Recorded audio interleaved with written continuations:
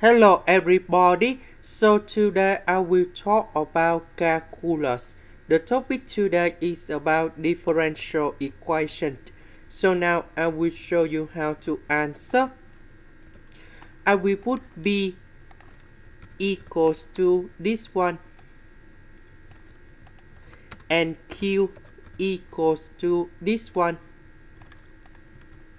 So in this situation, we have the s, so we need to find first the derivative of the function of b with respect to y. So we have y in here. First, the derivative of y you got about 1. So we have 2 sine s cosine s. We have y square. First, the derivative of y square you got about 2y. So we have 2y sine s. Now, about q, we have dy. So we need to find first the derivative of q with respect to y. Oh, sorry, with respect to s.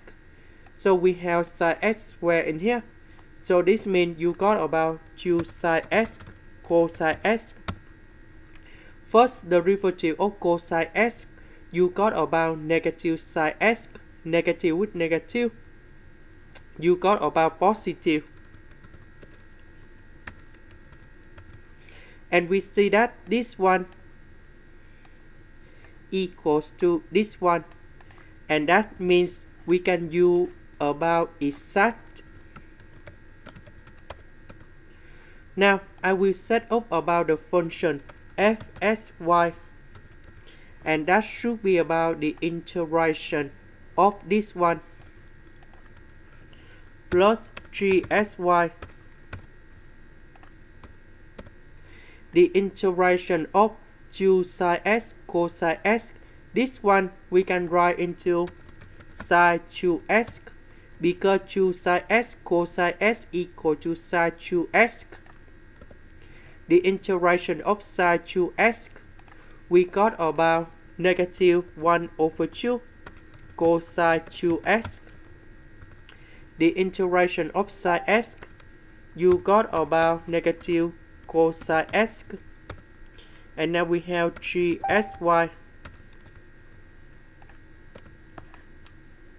next we need to do first the derivative of the function with respect to y. For the both side we have y in here.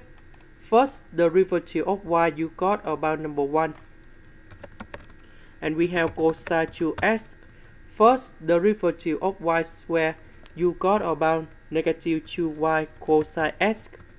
This one you got about d over dy 3sy. And we know that everything in here equals to this one. Now we need to simplify for the both side. So this one cancel with this one and now we just have this one left.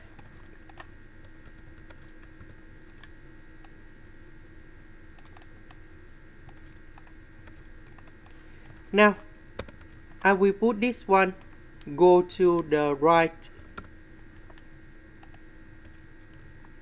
And you got by positive in here. This one we have 1 minus 2 sine s square 1 over 2 multiplied by number 1 and negative number 2.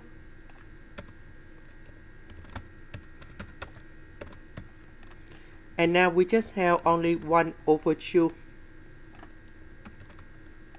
Now we can put the integration for the both sides.